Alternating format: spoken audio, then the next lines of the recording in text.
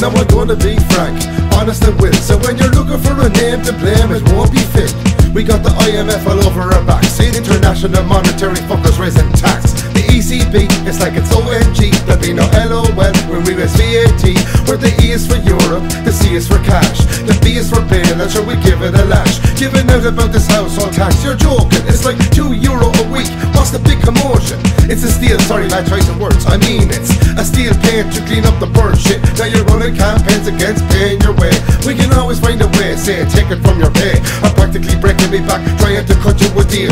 I'm in your corner and I'm eating your meal. A public servant, I'm serving the public. Sloppy seconds, welcome to the bed of a republic. We're gonna work that ass about the bail. We run this country into the ground and then bail out. And if our policies you stall or threaten to fail, we can always intimidate you with the threat of jail. With austerity all the while. Introduce each increase with a sympathetic smile. Like the famine, you'll be eating clovers off the floor till you give up hanging on to say the foreign shores. So before I sign this bill, I ask you to pay attention. Bend over, first let me say. You are not responsible for this crisis. You are not responsible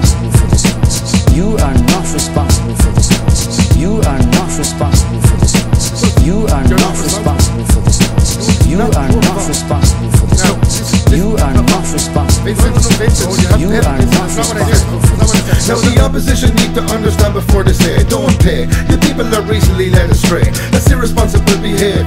I'll explain. You're not to be trusted with having anything to gain. But think it for yourself. You try to jump ship. Bailouts and the bailouts will never get to function. We can't have the whole country up in arms. Upstarts creating alarm does more harm. There'll be no money left in the cash machines if you don't pay the taxes when it's asked of ye. Now I've nothing but sympathy. I understand your pain. I know there's lots of people out there feeling the strain. Sure, Jesus ain't the same. I have a big clinic office in the city centre to maintain the minister for delegating social inequality. And once he's raped an already dying economy, it's important for you to remember that. You are not responsible for this crisis. You are not responsible for this crisis. You are not responsible for this crisis. You are not responsible for this crisis. You are not responsible for this crisis. You are not responsible for this crisis. You are not responsible